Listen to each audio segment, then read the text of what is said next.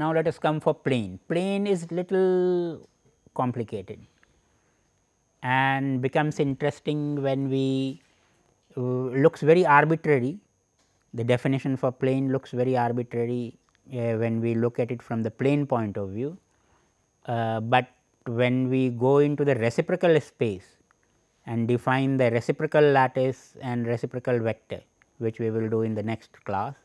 So, there it becomes more meaningful that why we were defining this way. So, here our first specification is again to choose origin, but in contrast to what we did for direction, direction we were insisting that choose on the direction. Here we will say choose origin not on plane.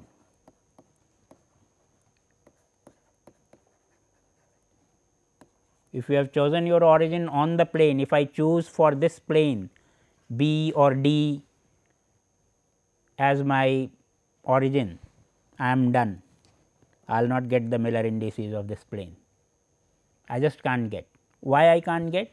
Because the second step is find the intercepts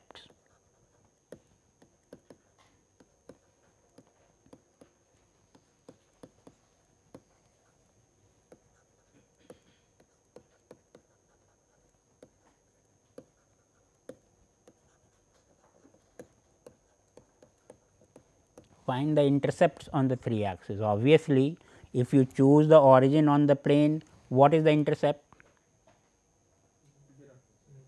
All 3 intercepts are 0. Now, if I choose some other plane passing through the same origin, different plane, what will be the intercept of that different plane? Again 0, 0, 0. So, 0, 0, 0 will not be a meaningful intercept and will not give me any meaningful information about what plane I am talking about every plane passing through the origin will give me 0 0 0 whatever its orientation. So, because we, we are interested in intercepts in defining the Miller indices we are interested in intercepts that is why step 1 is justified that you do not choose your or you never choose your origin on the plane.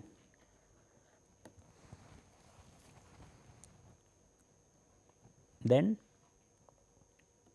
divide the intercept again we do that fractional thing divide the intercept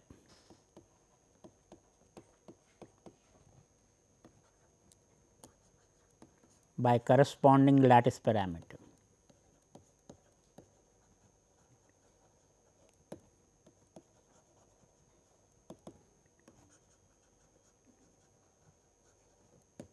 by corresponding lattice parameters. So, for this plane let us choose the origin A. So, then we are finding that the x axis intercept and x, y and z I have selected in this orientation. So, from origin A x is here, y is here and z is there and I am finding that and the unit cell edge length was A. So, the x intercept is a, y intercept is again a full b full uh, unit cell edge length and unit cell edge length is b and the unit cell edge length is c where it is intercepting the z axis. So, intercepts were a, b and c, but the third steps ask me to divide them by the corresponding lattice parameter. So, it is the ratio. So, this is the relative intercept.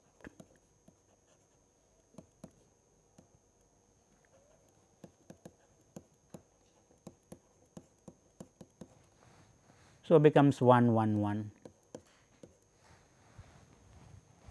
The fourth and the craziest step is take the take the reciprocals भैया intercept मिल गया उसके बाद भी उसको कुछ और कर रहे हैं तो थोड़ी ज़बरदस्ती हो गई so take the reciprocal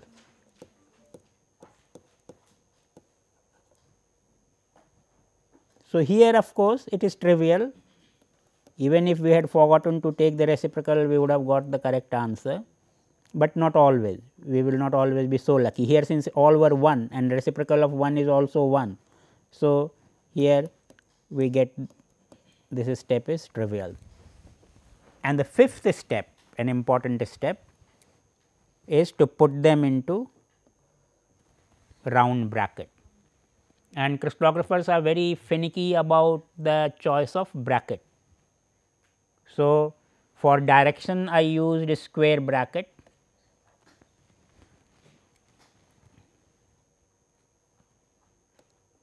So, if you use wrong bracket you will miscommunicate in the crystallographic world and in the exam situation you will lose marks. So, you should not for your own happiness you should be careful about the choice of bracket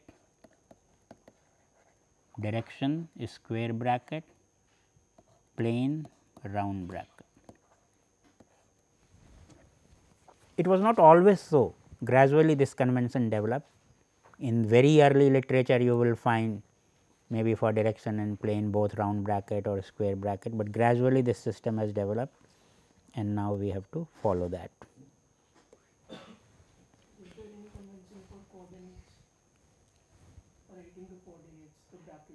Yes, yes, yes.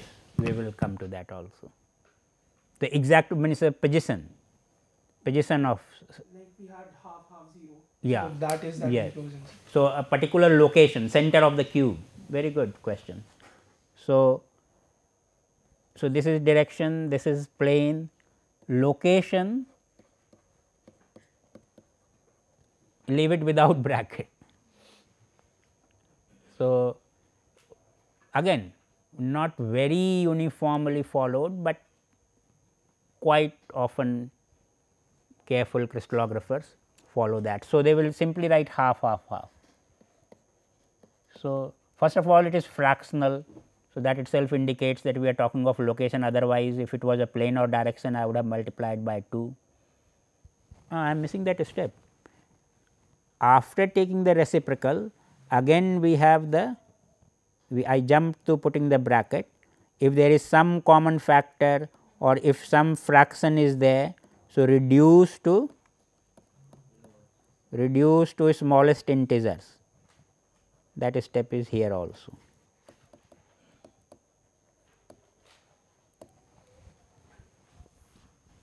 smallest integer. And then maybe in the sixth step you put the correct bracket. Right. So, it is clear? So, this plane is this nice plane is 111 again think of this this was a nice sodium chloride unit cell A equal B equal C alpha beta gamma 90 degree. So, it was a nice Cartesian system it was giving.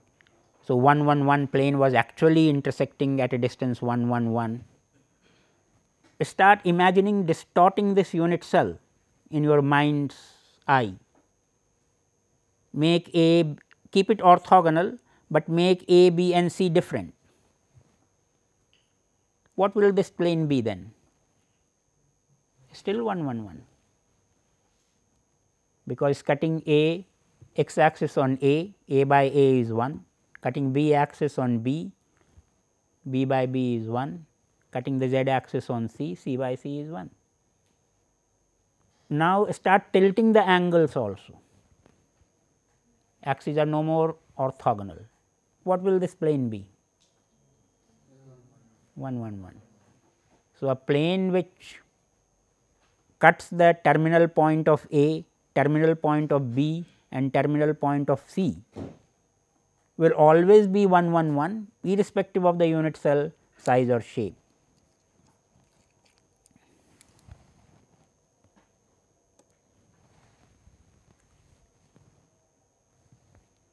what will be the Miller indices of this pink plane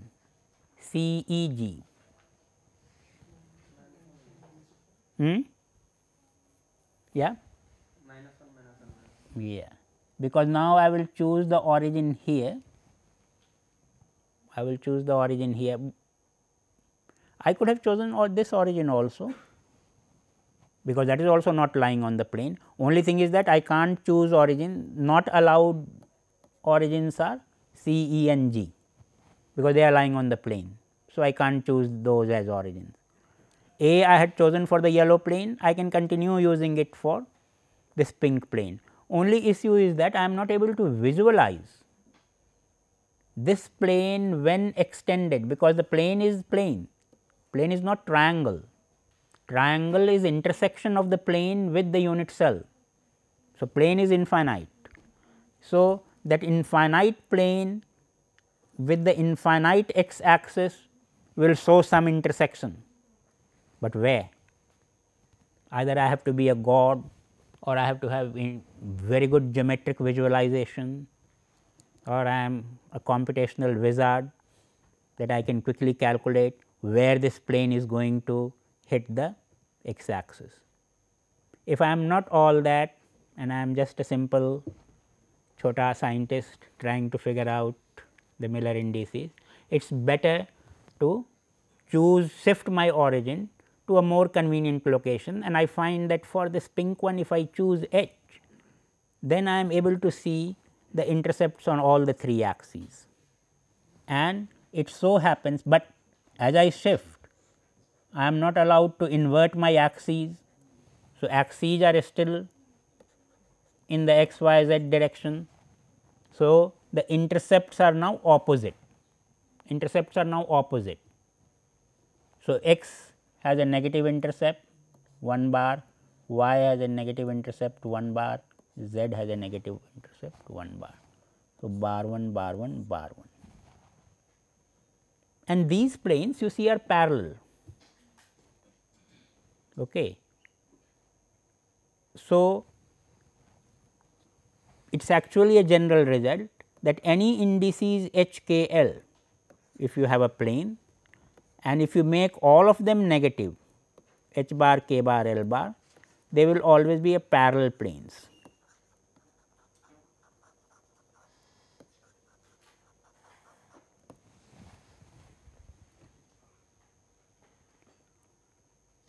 With respect to the yellow plane, where was the origin above the plane or below the plane? Below the plane. With respect to pink plane, where was the origin above the plane or below the plane?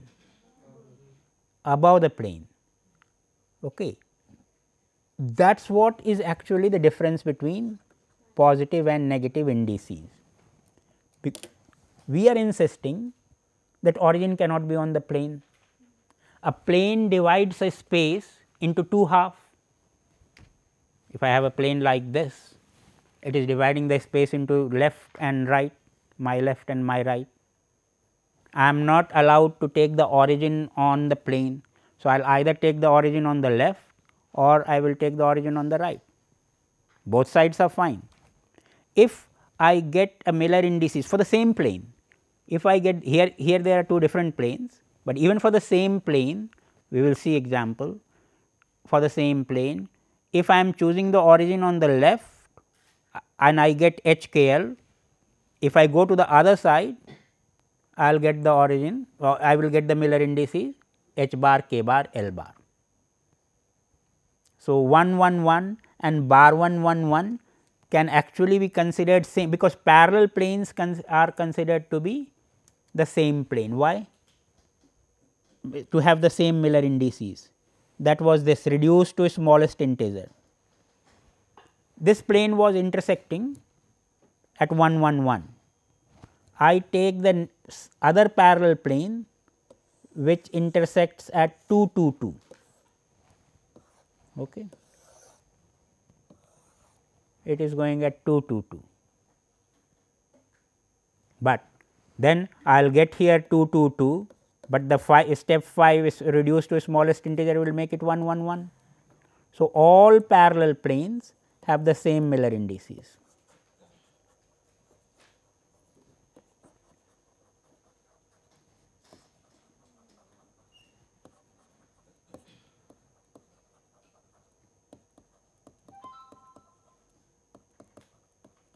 According to this, we should call the next one as anti-parallel planes. The next which we had seen because they are having plane normals opposite to each other. No, they are parallel planes. Plane normal is your choice. Whether they are having plane normal in the same direction or opposite direction is your choice. Okay. If you if you are thinking of some volume within these two planes and thinking of outward normal, then maybe opposite direction. But as an individual plane, for the plane I can take the normal this way or this way. So, that is your choice. So, so by that argument the yellow and pink plane should have had the same Miller indices. So, I could have called both of them 1 1 1 and what I was telling you that if you can work out uh, where it will intersect actually this is the plane which is 2 2 2. If I join this this and this you can see that this is a, a smaller triangle chota triangle in this bigger triangle. Because of the chota triangle I was not able to imagine where they are intersecting on the axis, but if I extend it and see where it is intersecting it is exactly 2 2 2. So, by that philosophy it should have had the Miller indices 1 1 1 why it had bar 1 bar 1 bar 1? Because I shifted the origin to the other side. Instead of choosing the origin on the same side, I shifted the origin to the other side. So, I got it negative. Good. So, now find it for PQRS. What is the choice of origin? D because from D only I will be able to see the intercepts. Of course, it could have been E also, D and E are equivalent. From E also I can see the intercept.